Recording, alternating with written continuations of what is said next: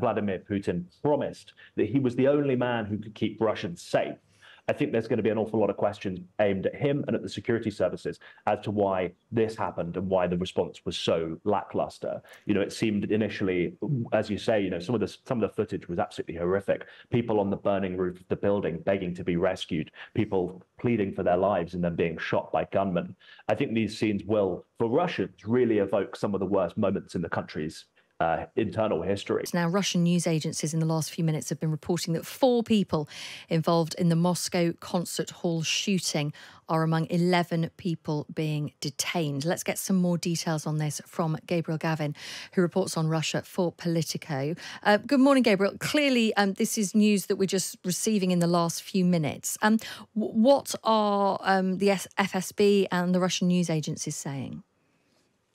Yeah, well, good morning. Russia is waking up to one of the deadliest attacks that the country has seen in recent decades. So at least 60 people are now confirmed to have died, and as many as 150 have been wounded after a group of camouflage clad gunmen stormed a popular Moscow concert venue last night. Uh, as you've said, in the last few minutes, we've had a statement from Russia's security services, the FSB, saying that a total of 11 people have been detained, and as, as many as four of those might have been involved in the uh, attack. There was also a quite dramatic moment where there was a car chase close to the Belarus border and two supposed suspects were arrested. ISIS has claimed responsibility for the attacks, uh, and those uh, being detained are believed to be nas- uh, nationals from Tajikistan, which obviously borders Afghanistan.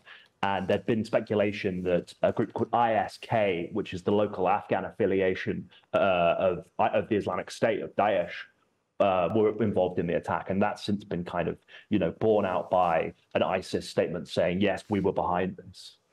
Because of the age in which we live, of course, there is lots of video footage which has been uploaded onto social media from people who were in the area when these gunmen attacked. Um, looks utterly terrifying.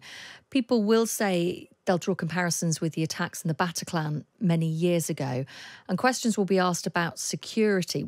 Was there any security, do we know, at the concert which could have protected people? Well, from everything I've seen, it's it doesn't appear that any government security services were present at the concert, which is absolutely remarkable when you consider the scenes we saw just a few weeks ago at Alexei Navalny's funeral, where you had you know thousands of peaceful demonstrators coming out to mourn uh, the murdered opposition leader, and they were met with this huge state apparatus, you know, armed police, riot police, uh, and I think that shows you a, a, little bit of where Russia's priorities are. Uh, oh, you know, the security services have been massively stretched by the war in Ukraine. They're currently fighting against. Uh, Ukrainian uh, efforts to strike oil refineries deep inside the country and take away some of the money that Russia earns and uses to buy drones and missiles that kill Ukrainians.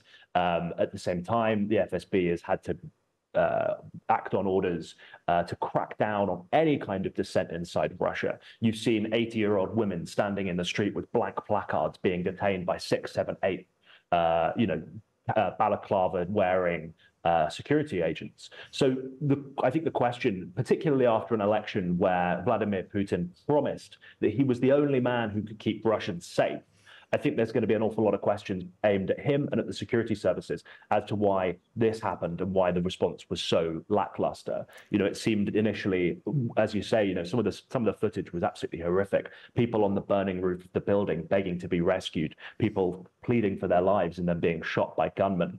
I think these scenes will, for Russians, really evoke some of the worst moments in the country's uh, internal history. You know, there was the siege of a of the Nord-Ost theater in 2022 that killed 132 people, and then before that, you have events like the Beslan school siege, which killed hundreds of uh, children and, teachers uh, that really rattled Putin in the early years of his presidency. So this is obviously a tragedy, but the recriminations are only just beginning.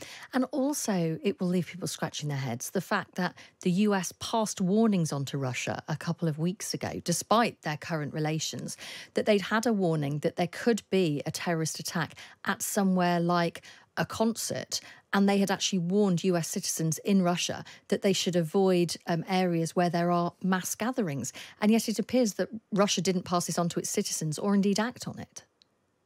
Well, I think there's that's always going to spark uh, kind of conspiracy theories uh, among certain circles. But the U.S. statement came because Russia said it had intercepted a plot uh, on behalf of the this ISK terrorist organization.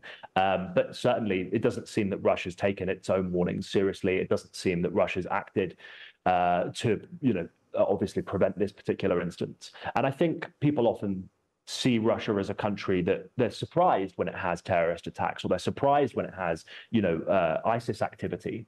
Uh, but obviously, this is a country that for years has been killing civilians in Syria, making itself deeply unpopular in the Arab world. It's a country that, um, you know, has been embroiled in wars in Afghanistan in the not too distant past. It's a country that, you know, has supported strongmen in the in, in the wider region, uh, tried to advance its interests at the expense of its reputation on the world stage. And I think it's absolutely unsurprising that you know uh, it would it would also be a target for terrorist attacks.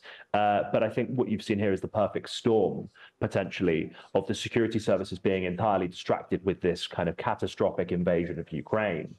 Uh, and repressions at home, and effectively taking their eye off the ball. And I think Russians, especially those who've lost loved ones who were just going out to a concert, uh, will uh, will be asking questions.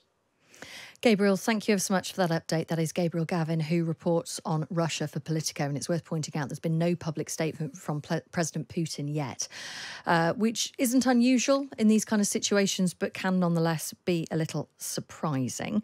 Um, I just want to bring you this update, which is reaching us that at least 93 people have now been confirmed dead in that shooting at the Crocus City Hall in Moscow. That's according to Russia's investigative committee.